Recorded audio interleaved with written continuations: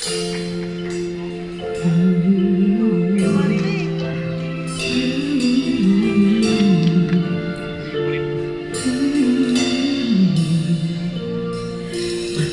ko nang inaasal ang tunay. Totoo kong di kinag na pag-ibig